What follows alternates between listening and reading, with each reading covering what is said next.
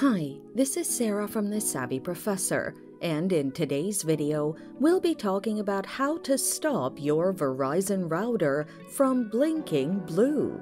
But first, why does the router blink blue? The blue light blinking on your router indicates issues with the router. The following are some of the common causes of the Verizon router blinking blue. The router is attempting to secure a connection, the router is overheating, the device's firmware requires an update. Now, let's look at the best solutions to apply to fix the issue. Restart the router. Power down the router and unplug it. Check to ensure the device's backup battery is disconnected as well. Then, wait for at least 30 seconds. Turn the router back on and ensure the backup battery is connected.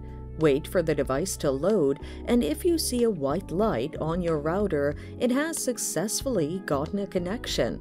Inspect for overheating. Turn the router off, disconnect it from its electrical outlet. Wait for 5 minutes to enable the devices to cool down.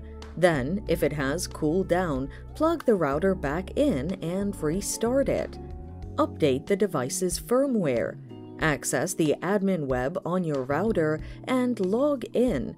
Go to System Settings to see if any updates to your software are available.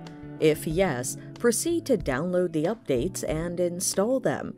Once done, power down the router and turn it back on to see if the blinking light has been resolved. And that's it. Thanks for watching. Till next time.